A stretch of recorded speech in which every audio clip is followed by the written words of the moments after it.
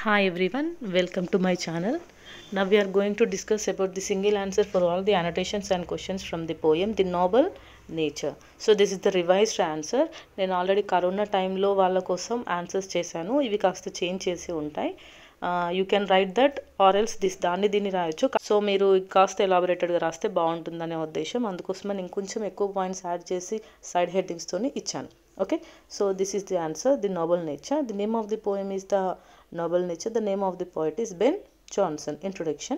These lines are taken from the popular lyrical poem the noble nature written by the English dramatist Ben Jonson so ఈ poem the noble నేచర్ని రాసింది ఎవరు అని అంటే అతని పేరు ఆ పోయట్ పేరు వచ్చేసి బెన్ జాన్సన్ సో పోయమ్స్కి ఎప్పుడు పోయట్ అనే అనాలి ఓకేనా సో అతని నేమ్ వచ్చేసి Ben Jonson and he's English dramatist every man in his humour is his best play so అతను రాసిన ప్లేస్లో అతని బెస్ట్ మంచి పేరు వచ్చిన ప్లే పేరు ఏంటి అంటే every man in his humour this is the introduction okay next name of the poem name of the poet ఖచ్చితంగా రాయండి.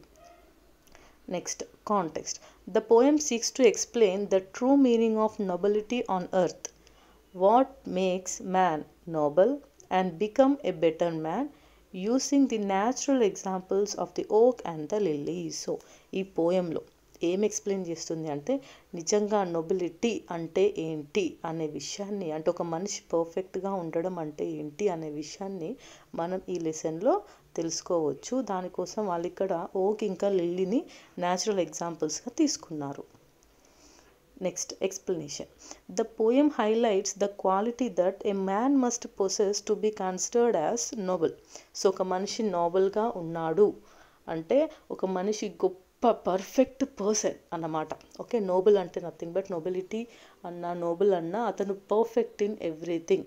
అతను అందరి చేత పూజింపబడతాడు. అతను ఎప్పుడు గ్రేట్ అనిపించుకునే అటువంటి ఒక గొప్ప క్యారెక్టర్ ఉండడమే నోబెల్ నేచర్.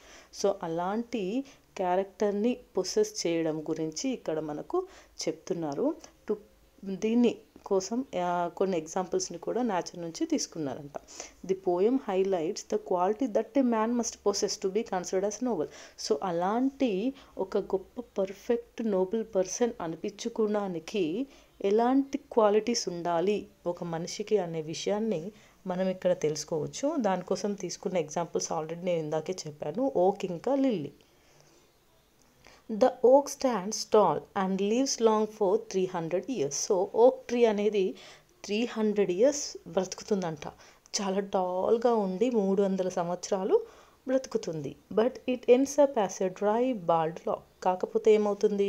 బ్రతికినన్ని రోజులు చాలా పెద్ద గొప్పగా అంటే భూమిని తాకకుండా భూమి నుంచి ఆకాశానికి ఎత్తుగా ఎదిగినా కూడా మూడు వందల సంవత్సరాలు బ్రతికినా కూడా అది ఏమవుతుంది చివరికి?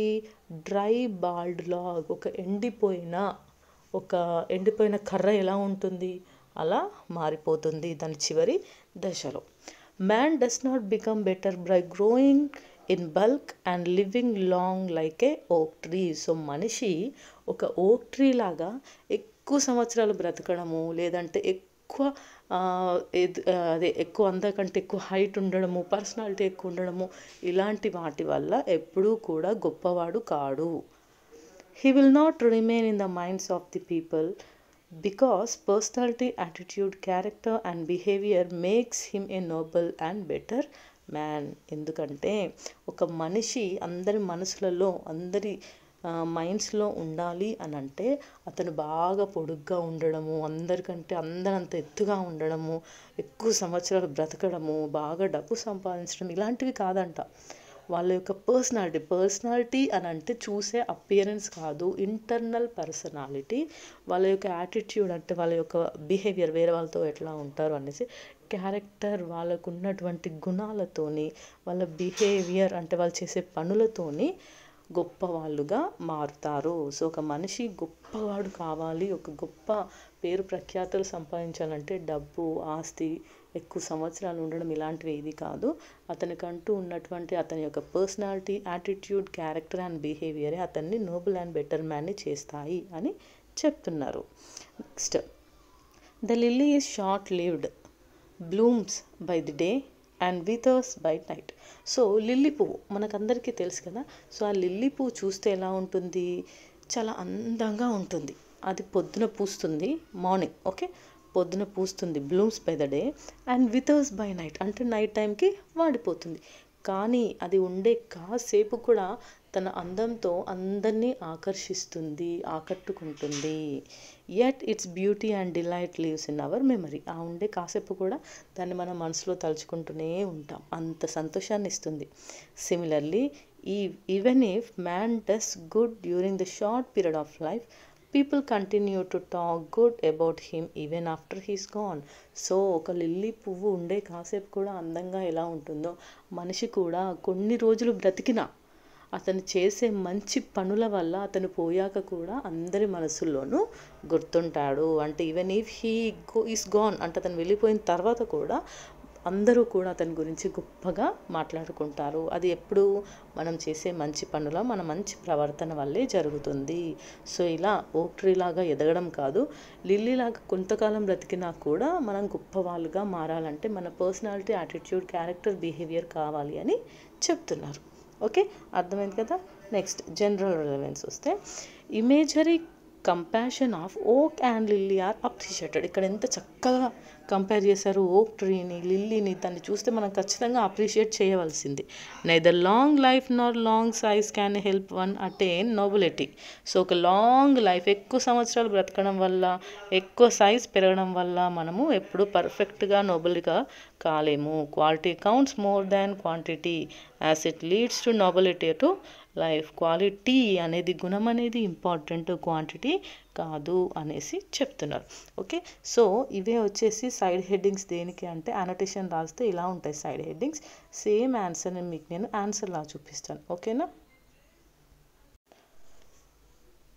సో ఇదే ఆన్సర్ని మీరు ఒకవేళ ఆన్సర్ లాగా రాయాలి అంటే first side heading name of the poem అలాగే రాయండి నేమ్ ఆఫ్ ది పోయిట్ అలాగే రాయండి. సో ఇంట్రొడక్షన్ ఉంది కదా. ఆ ఇంట్రొడక్షన్ ప్లేస్లో మనం ఇక్కడ ఇంట్రొడక్షన్ ప్లేస్లో ఏమని రాయాలి అంటే అబౌట్ ది పోయెట్ ఎందుకంటే ఇక్కడ పోయెట్ గురించి చెప్తున్నాం కదా అందుకోసమని అబౌట్ ది పోయెట్ అని రాయండి. ఓకేనా నెక్స్ట్ కాంటెక్స్ట్ ఉంది కదా. ఈ కాంటెక్స్ట్ని ఏమని రాయాలంటే అబౌట్ ది పోయం ఇందులో పోయం గురించి మనం చెప్తున్నాము.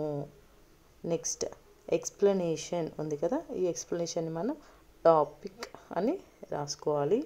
అండ్ నెక్స్ట్ వచ్చేసి మనకు జనరల్ రిలవెన్స్ ఉంది కదా? ఈ జనరల్ రిలవెన్స్ని క్రిటికల్ కామెంట్ లేదంటే కంక్లూజన్ అని కూడా రాసుకోవచ్చు.